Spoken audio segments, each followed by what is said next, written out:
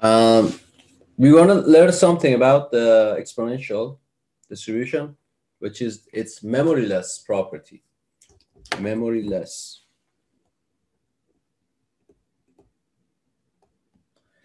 Uh, what does it mean? It means probability of A. We know what A is now. We know that A is the, the a random variable, which is the time, the inter-arrival time of the next arrival. Between this, uh, the last one we've seen and the next one. Uh, probability that A is greater than T plus H, given that A is already greater than T. What does that mean? It means I, I played a, I record a video tomorrow. I played for you the one bike passes, then I pause it right there. And I ask you, uh, what's your estimate for the time you have to wait until you see the next bike coming in, right? Uh, and you start watching for one minute and you don't see any bites. And I ask you, what is the probability that, that the next bike actually comes in uh, after three minutes, which means you have to wait two more minutes. You've already waited one minute, and I ask you what's the, the probability that A is actually greater than three, which means you have to wait two more minutes. Um, if I ask you that question, that probability is basically the same as asking you what's the probability that you wait more than two more minutes? Or what's the probability that the inter-arrival time, uh, or basically, uh, if you see the one minute after I pause the video, you see one minute of it, and I, then I pause it again. The fact that you have waited for one minute has nothing to do with how many more minutes you have to, with how much you have to wait until you see the next bike right? Which was the case uh, in the example that we saw, the passing of bikes. Sometimes you wait and you don't see anything. So because they are independent, these arrivals are independent, and uh, because of this distribution, you can see that the inter-arrival time could be anything. It could, could be six minutes, it could be 65 minutes, it could be 100 minutes or anything. Although the probability goes down, the probability goes down, but it's still possible. The likelihood, probability goes down, but it's still possible, right? And it says uh, here the memoryless property tells us it doesn't matter how much you have waited or how much time has passed or your memory basically uh, does not help you predicting the inter-arrival time.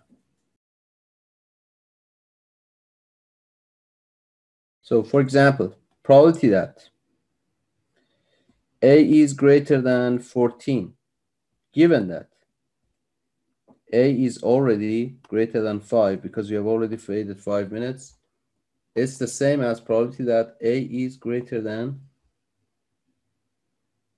9. So if this is T, T plus 9.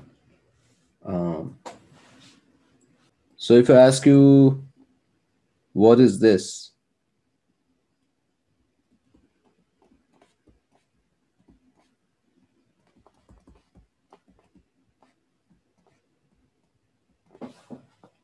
What is that question mark? It's 8.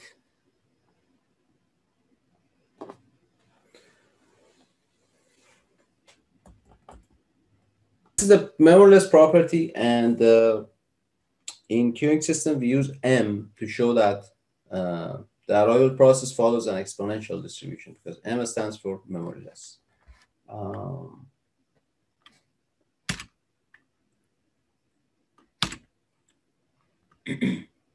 all right. Another thing is that when we say a process is follows the exponential distribution, uh, exponential and Poisson are two sides of the same coin, which means uh, they are talking about the same process. For example, the arrival of bikes.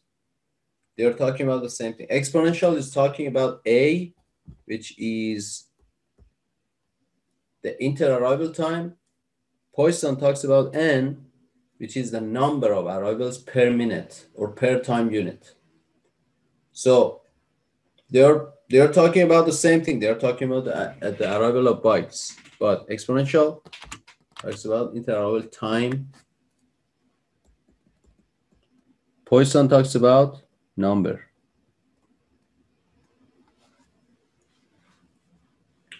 And because the number of arrivals is an integer value, uh, it's not uh, continuous, it's discrete, we have to use the term mass function, not density function, for uh, Poisson distribution. And this is the distribution of Poisson you're already familiar with from statistics and probability and statistics. And here you see that n could be 0, 1, 2, and so forth. For example, P of n equals 3 means the probability that you see three arrivals in the next time unit, for example, one minute. And lambda is the same lambda. So you don't change lambda switching from Poisson to exponential. Lambda is always a number. Lambda is always the number of arrivals per time unit.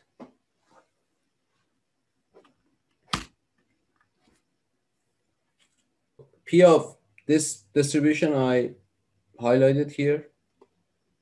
This is probability of having n arrivals in one time unit. If you're talking about uh, another unit of time, for example, uh, in the next five minutes, that's a multiple of your time unit.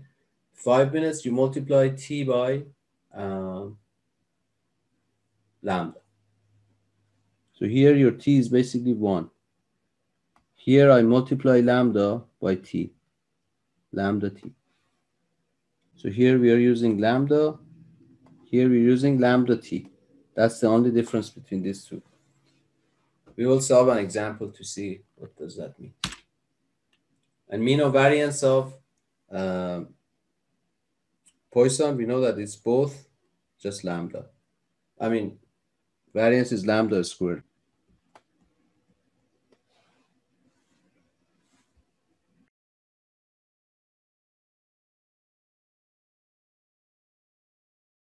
Memoryless property.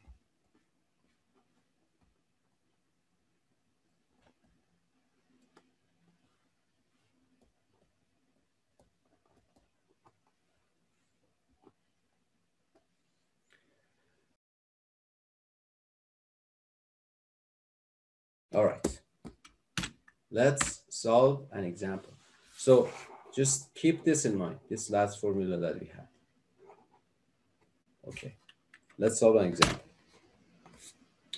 The number of glasses of beer ordered per hour at Dick's pub uh, follows a Poisson distribution with an average of 30 beers per hour being ordered. All right, apparently everyone's vaccinated and now they opened the pub and people are ordering beer. So find the probability. So first of all, what is lambda? Is it 30 or 1 over 30? It's just lambda. Because lambda is the number of arrivals, number of orders, number of customers, and it is 30 beers. So that's just the lambda. But pay attention to uh, per hour. So that's our time unit. Our time unit is hour. Find the probability that exactly 60 beers are ordered between 10 and 12 midnight. First of all, it's talking about probability. I'm going to either use uh, Poisson or exponential. For example, 1 over 30 means uh, in hours. That means uh, two minutes. Every two uh, uh, you on average every two minutes you see uh, one order of beer every two minutes. If you start like recording every two minutes someone uh, orders a beer. On average. It means sometimes for five minutes no one orders then three people come back to back then three orders back to back and then nothing for two minutes then next order and so forth. But on average Every two minutes, they give an order. Therefore, you have 30 orders or 30 beers every hour. Because 30 beers is the number, that's our lambda. Probability that exactly 60 beers are ordered. So probability that n is 30. For how long? Between 10 and 12 midnights. So for t equals 2, which means for two hours, not for one hour. Here our information was for one hour. so what should what distribution should I use? Exponential or Poisson? If we go back here, we see that Poisson is for number, um, number of arrivals per time unit, but exponential is for the probability that inter-arrival time is a certain value. So here I'm going to use Poisson. But the thing here is that it's not in just one hour. It's in two hours. So I'm going to use lambda t to the power of n e to the power of minus lambda t over n factorial. This, that's the formula for Poisson. That is 30 factorial here. Lambda t is 30 times 2 to the power of 30 uh, times e to the power of minus 30 uh, times 2 that is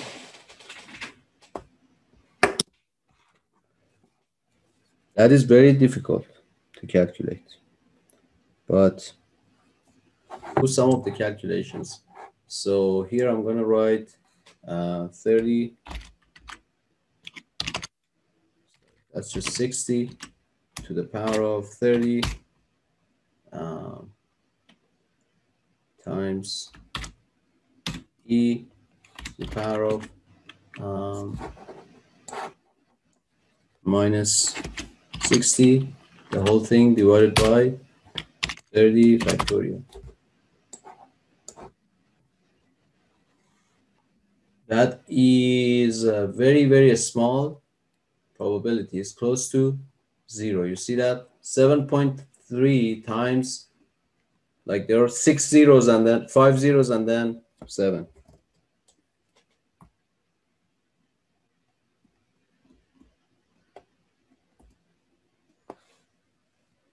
right? Why, why is that probability very small? Because it's talking about exactly 30 years, right? That's very unlikely that exactly 30 beers are ordered in the next uh, in the next two hours, especially because the average is one hour. Now, the next question. Find the mean and standard deviation of the number of beers ordered between 9 p.m. and 1 a.m. So that's just t equals 4. Therefore, your lambda t, which is your mean and standard deviation, is 4 times 30.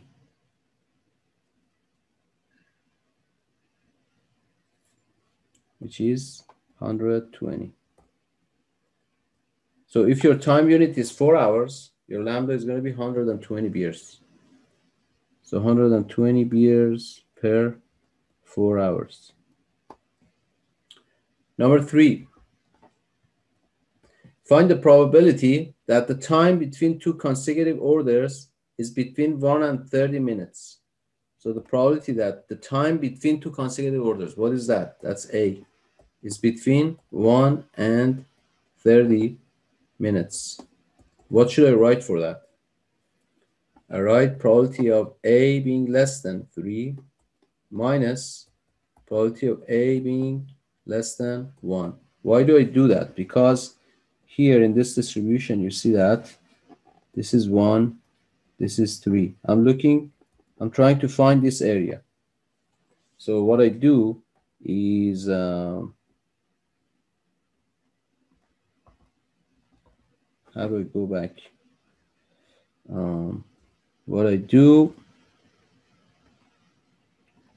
is I get this probability first, this area, which is probability of A being less than 3, minus this area. Probability of A being less than 1.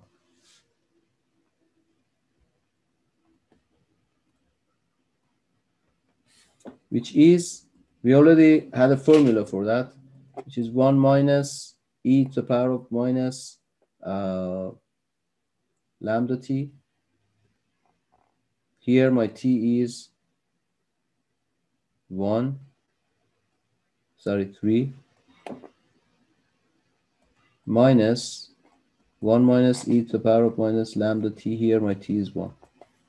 So that is uh, e to the power of minus 30 uh, lambda t. So why, why is my, I, I expect this value, this probability to be large because between 1 and 3 minutes, uh, but why is it so small, this probability? It's because I'm, I'm, I'm putting a lambda in hours, right? So this is wrong. I have to replace it with lambda in minutes. If I have 30 beers per hour, what is my lambda per minute?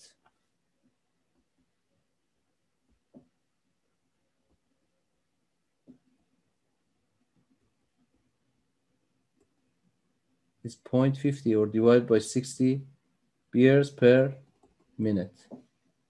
So here I put 0.5 and minus 1.5. 0.5 times 3 basically.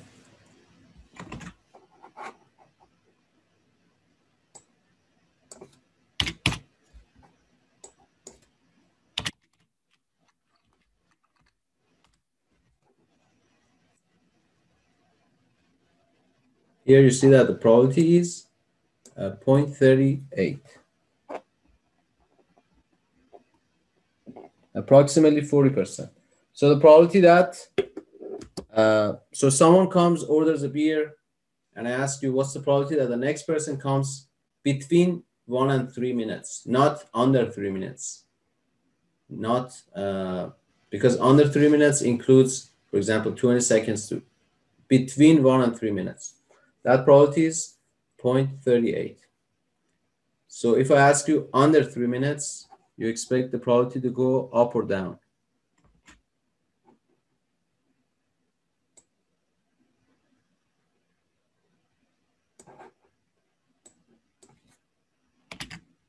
Should go up, right? Because it includes more options.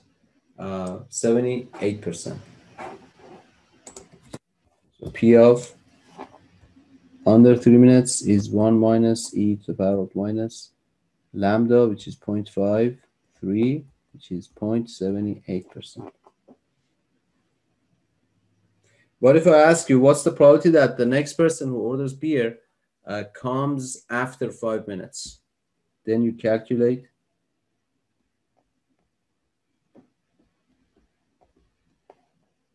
P of A greater than 5 which is e to the power of minus lambda 0.5 times 5.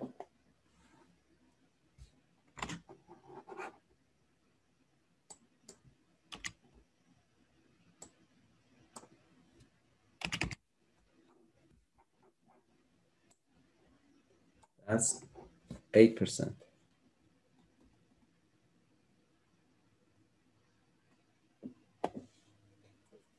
So 92% they're they're gonna the next person uh, the next person is gonna come or the next order will arrive uh, under five minutes.